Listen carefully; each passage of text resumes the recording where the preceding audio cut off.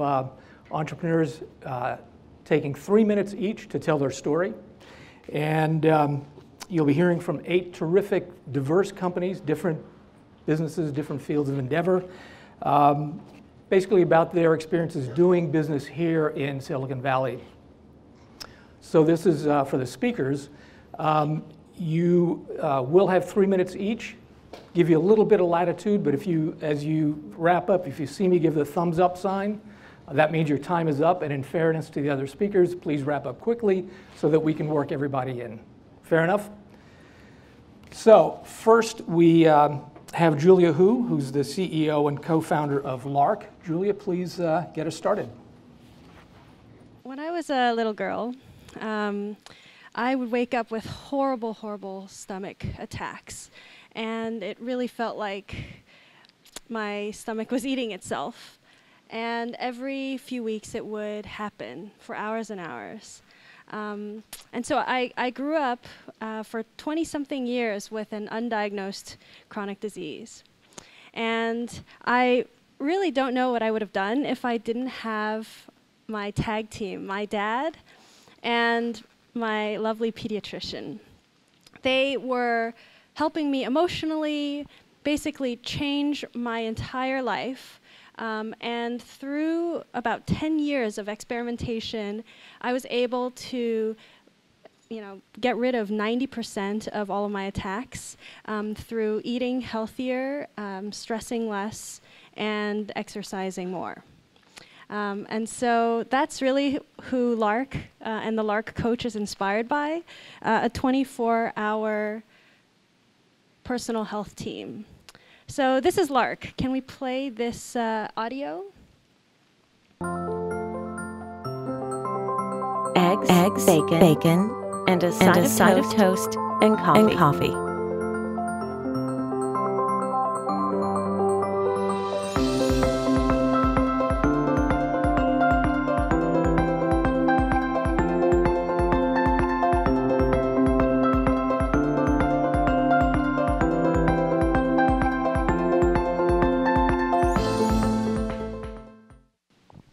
Lark is your 24-7 personal health team. It's, it's really the top experts in the world, um, but speaking to you personally, and we do that by using artificial intelligence. So uh, over the last few years, we've been, we've been working on this AI for a long time, cloning these amazing doctors and uh, luckily, you know, I think it's getting somewhere. People are really treating Lark, your Lark coach, as a friend. So um, we were recently named top 10 apps of 2015 by Apple. Um, so I see a lot of familiar faces. Uh, Samsung pre-installed us uh, in all of their new phones. Um, and uh, Lark, Uber, Airbnb, and WeChat were named the top 10 most innovative companies in the world. Um, and uh, Wall Street Analyst named us the top most innovative digital health product of the year. And we really think it's because artificial intelligence is not just helping you understand data, but really helping you with emotional needs.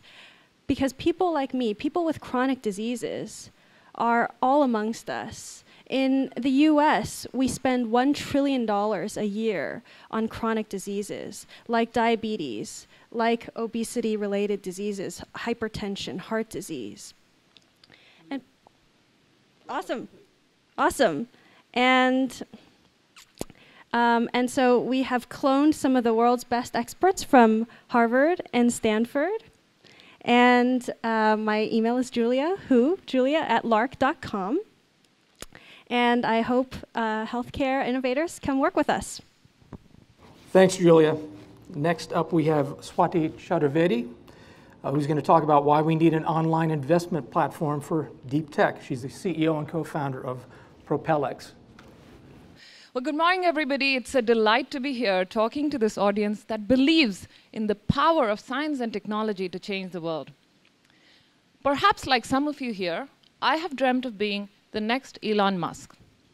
Now, while chances are slim of getting there, I am not losing all hope, and neither should you.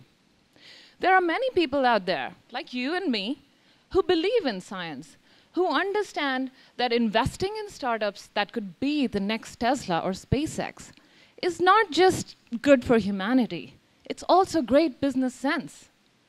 Now, what if I were to tell you that all of us can be the next Elon Musk?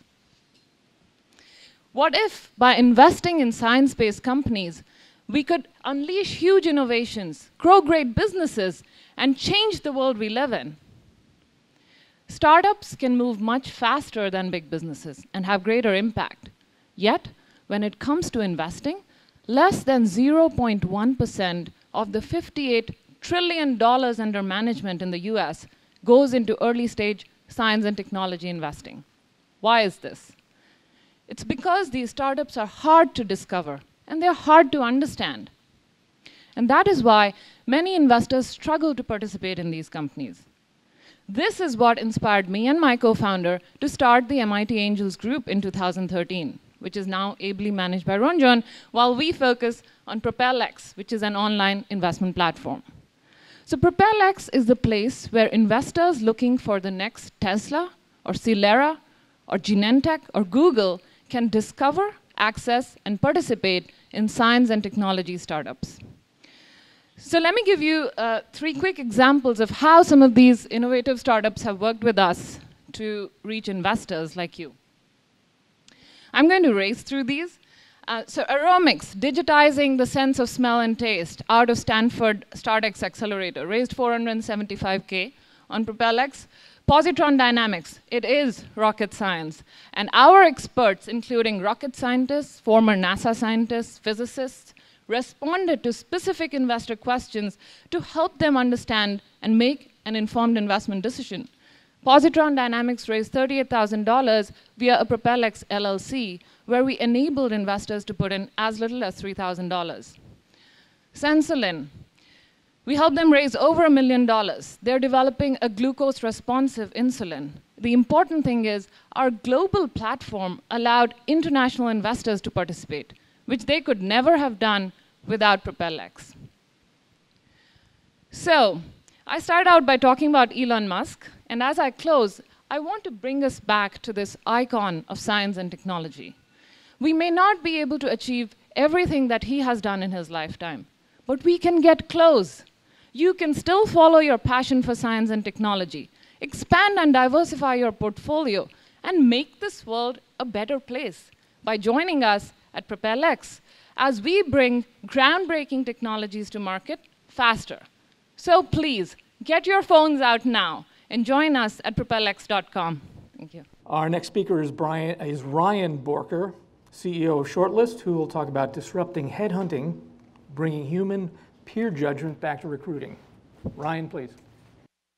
So, we all know great businesses are made of technology, great businesses are also made of people. And that's what we're doing here at Shortlist is bringing great people to companies. In fact, replacing one of the most hated parts of the hiring process, hiring a headhunter. Um, many of you guys are very senior. You've probably dealt with them before. They're really expensive. They're really painful. And we've already placed some of the most senior people in asset management, including one of the top 10 people who moved last year. I'm going to try and talk about shortlist as well as machine intelligence in three minutes. So I've got quite a bit to go through. Um, a little bit about Shortlist. I just told you we are replacing headhunters with a curated network of senior professionals. We're going to do this across all industries, but we're starting in investment management.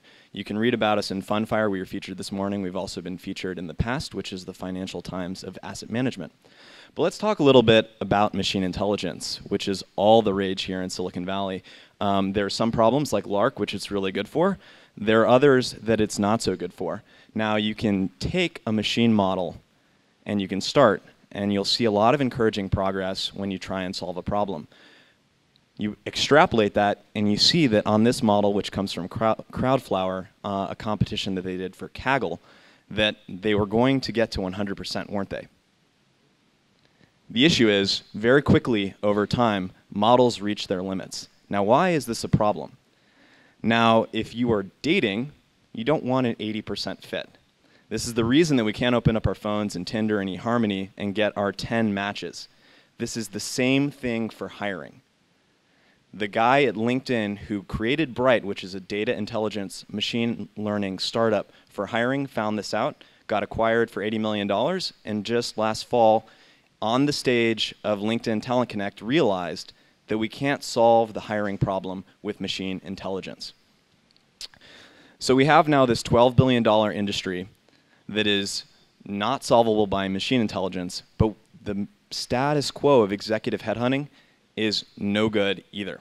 So what are we doing at Shortlist? We're blending human judgment and technology. We're using machine intelligence where we can to route the roles to the right people to make sure that we understand who makes good recommendations and using humans to make recommendations who understand all of the subtle, subtle things that machines can never understand about what it takes to hire someone great for your organization. We're very interested in talking to anyone in financial services or investment management, or anybody who's interested in the intersection of human judgment and technology. My name is Ryan Borker. I'm the co-founder and head of product here, and we'll be around afterwards. Thank you. Terrific. Thank you, Ryan.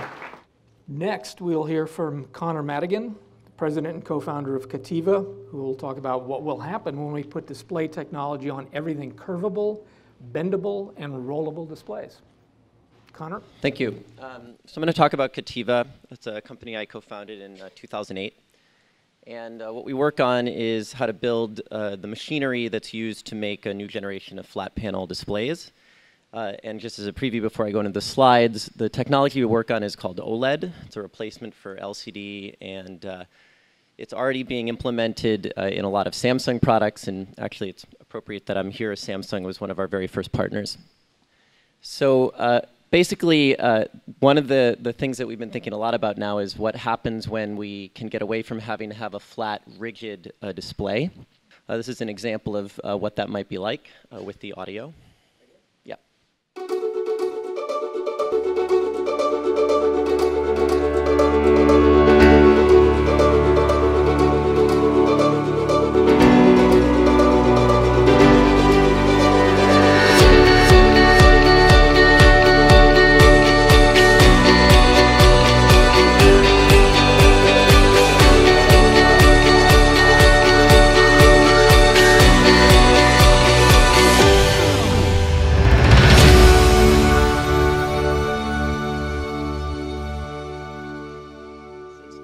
And specifically what we do is we use inkjet printing like the printing you would use for your home photo printer, except much bigger and much more precise to put down pattern coatings. And uh, what made us unique is that we were the first company to apply this technology from the ground up to solving the manufacturing problems in OLED. And uh, it's actually something I started to work on in 1998 and then worked on at MIT and then spun out the company in 2008. Um, so we introduced these products in 2013. Uh, Samsung was our very first customer, uh, and they are now uh, entrenched in essentially all of the OLED mass production lines that make flexible uh, displays. Um, so this was incubated first at MIT. Uh, we sell giant machinery, which is a fairly unusual thing for a startup to do. Um, our first, when, when, our first investors uh, asked us about what this would take, we told them $100 million in seven years. Um, and fortunately, they, they stuck with us through that. Um, what we can say is that without our machines, flexible displays like you're seeing now would not have moved into mass production. Um, and uh, we've had good success working with strategic investors. So if anybody has questions about that, you can ask me about that. I have lots to say, but uh, and we're about 150 staff worldwide now, uh, and projected within five years now that we've sort of crossed the threshold to mass production to get to around a, a billion dollars in annual revenues within five years. So next up is Todd Mostak, who's uh, CEO and co-founder of MapD, talking about lightning fast big data analytics. I'm Todd Mostak, CEO and founder of MapD, uh, former researcher in the MIT database group. Uh, MapD is, uh, we have a lot of great corporate sponsors, early investors include Google, Google Ventures and NVIDIA. Uh, but today I'm going to talk about our technology. Um, great. So you know, MapD um, is a lightning fast big data analytics and visualization platform that leverages the power and parallelism of commodity graphics cards, of GPUs, to literally allow analysts to visually explore multi-billion row data sets with latencies measured in milliseconds. It was built to address the following problem. Organizations are awash in all this data that they need to interactively explore to extract real-time insights from. Uh, but unfortunately, with today's CPU and memory databases and analytics platforms, they're just not fast enough to achieve that. And why is that? Um, it's because we use GPUs effectively. Um, so your common garden variety in-memory database, CPU in-memory database, will have 10, 20, maybe 30 cores per server. Compare that to MapD, we'll be running across eight GPUs uh, using up to 40,000 GPU cores. And that literally means uh, orders of magnitude speedups. Uh, we commonly see 100 plus X speedups on common SQL queries. And uh, not only that, but we can actually take the results and visualize them with the graphics cards themselves. So in a nutshell, what MapD is, is it's a software platform, runs on uh, commodity GPUs, up to 16 per server.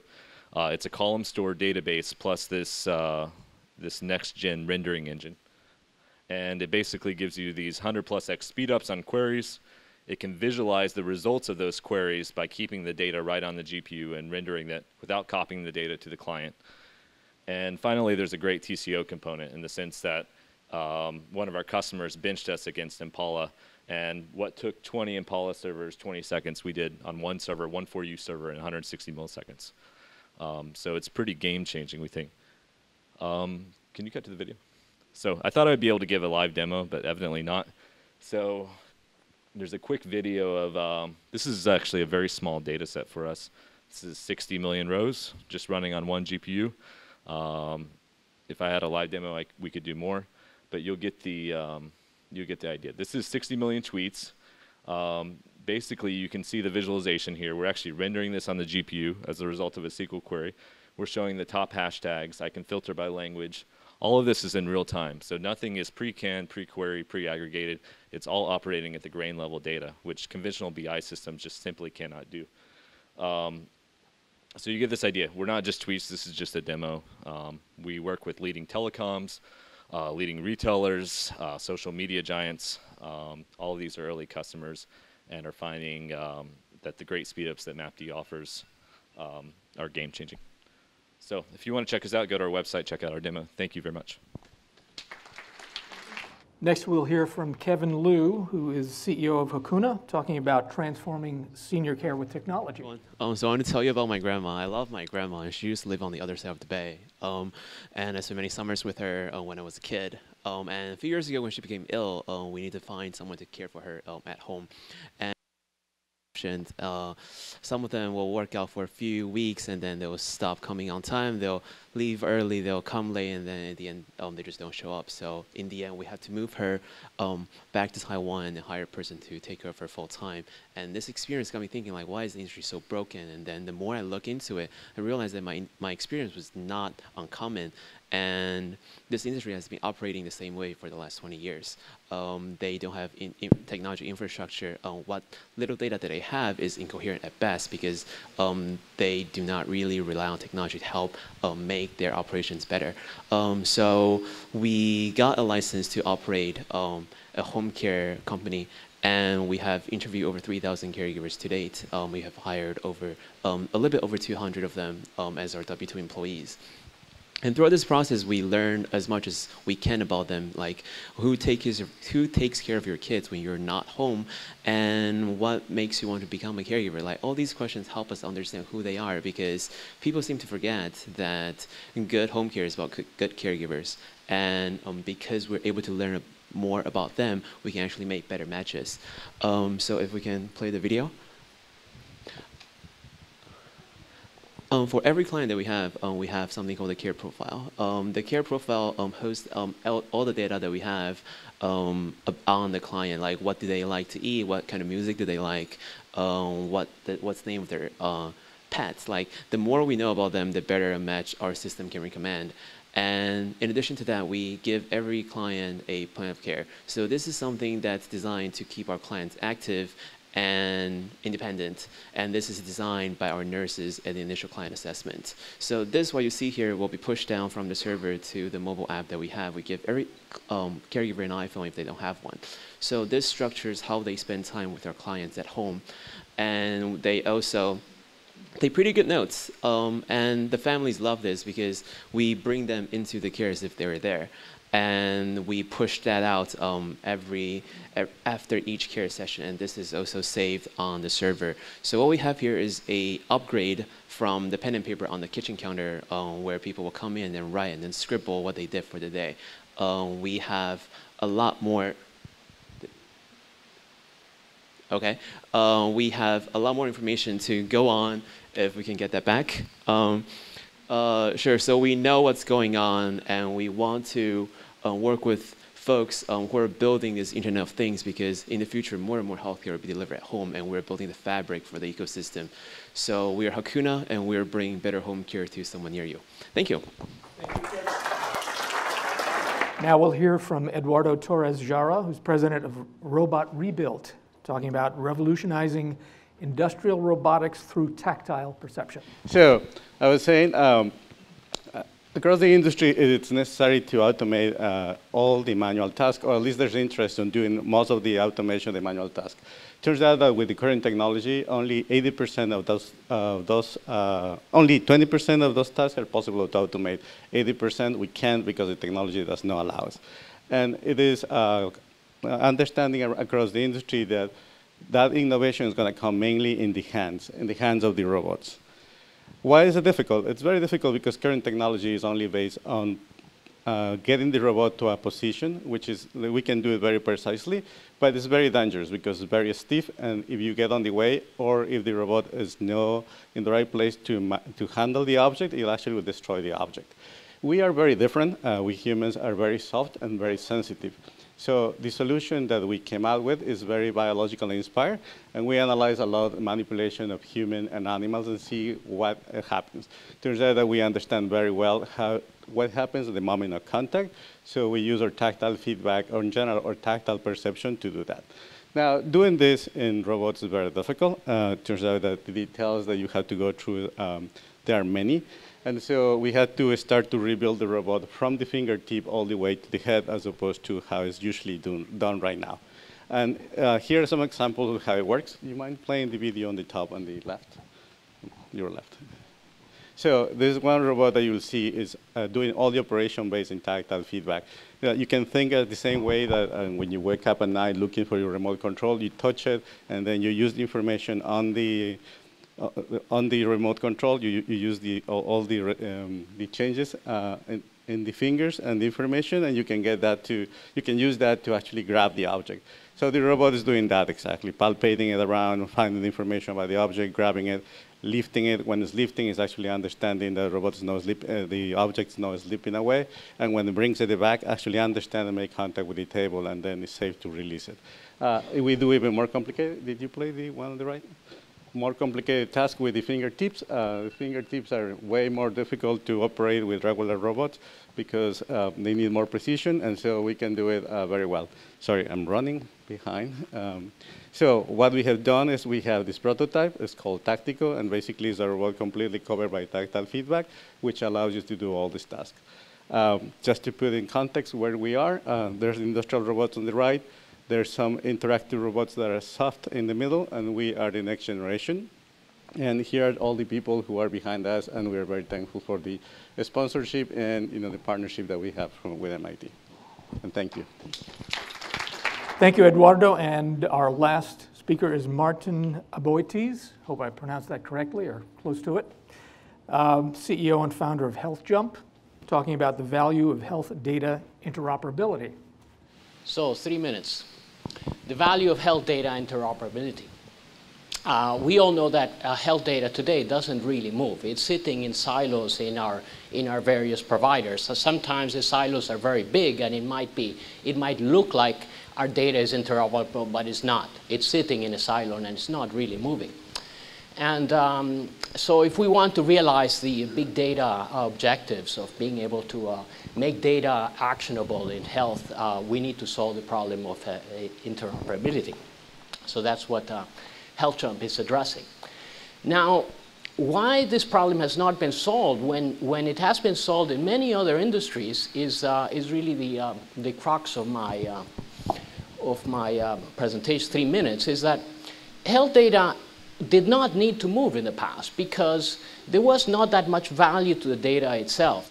This is changing. The good news is that uh, we are changing from uh, fee for service to uh, pay for performance in, in, uh, in healthcare. In fee for service, if you go to a doctor, you see the doctor twice, the doctor bills the, uh, the insurance twice, and that's, that's the end of the story. Um, in uh, pay for performance, it's actually quite different. The doctor gets paid for the outcome of your, uh, of your visit, and if he can uh, deal with you in one visit instead of two, then that's actually uh, a benefit to the doctor. And if he's effective, he, gets, um, he does better yet. So there's now a business driver to, uh, and to, uh, to use uh, uh, big data, to, use, to, to work on data on on, in this scheme. We, we, need to, um, we need to start, we start with the population. We, uh, we, look at, uh, we look at what are the gaps, uh, let's say uh, smoking. Uh, we, we want to identify who are the population of smokers are. And, uh, and then we need to address, we need to contact those, those smokers. we need to offer them smoking cessation plans. We need to evaluate um, for the whole population, well, which, which, which uh, smoking cessation work, what is the effectiveness, and we're going, we're going around this circle. And for that, we need, you know, it's a simple example, but there are, you know, plenty of examples in, in, in how data can be used. In, um, and for that, we need aggregated data, and uh, we need aggregated data that's accessible to, um, so that's what, what HealthJump does. Uh, HealthJump works on the integration of data, how data flows across the system from all the, all the providers, and also the devices that in the, the devices that an individual might use, and how that data from those devices goes into the medical record. Then we help on how that data is aggregated, how, it's, uh, how it can be analyzed, and then on the communication, how data get how um, communication is established between uh, patient and doctor and between doctors uh, leveraged on the data. So um, that's what we do. We make the record available to all members of the care continuum. We are, um, we are in, out of uh, the Northeast. We, we deal with uh, 1.5 million uh, patients right now, and uh, we'd love your help in, in taking this in nationally. Thank you. Thank you, Mark. And let's hear it for all of our entrepreneurs. Well done. My name is Lisa Somerville. I'm the engagement officer with Startup Exchange, and we decided that we want to get everyone a little bit more engaged and have some fun today. So when you came in, you were all given a pen. I know it was confusing. Why do you need this pen? So you all have a pen, and you all have your name tag. If you flip over your name tag, we're going to play a game that's similar maybe to bingo. And what you're going to do is when we say go, you're going to uh, walk around, run, whatever works for you, and you're going to meet as many people as you can and ask them the questions on the back. So, for example, if I was going to be walking up to you, I might ask you if you've lived in Europe. You may say yes, you're welcome to tell me, oh, I lived in Germany. I might tell you I lived in France. And then you will initial that square on my card with this pen, and I will initial on your card.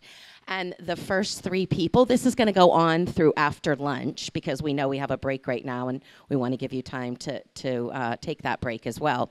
So you're going to start now, and the first three people who bring me their card and have it mostly filled out, you're going to win one of these beautiful presents that have traveled across the country from MIT. So, at, on that note, we'll let you go on your break, start networking, and have some fun and be playful. Thank you very much.